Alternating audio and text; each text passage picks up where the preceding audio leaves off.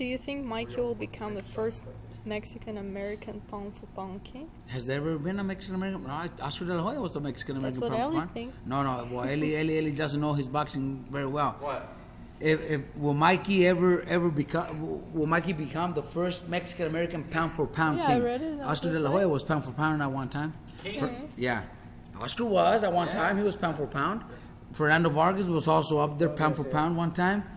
You know him and Trinidad. They were like up there. You know. But Mexican American. Mm-hmm. No, yeah, but I no.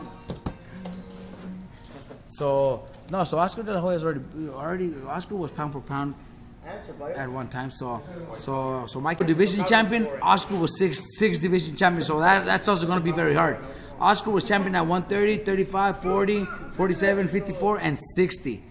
Six division champion. So Mikey, Mikey, 126, 130, 135, 140, 147, and 154. Mikey needs to be champion at 154 one day That's Buddy to be able to be a six division champion. So it's going to be very hard. Do you think he can make it?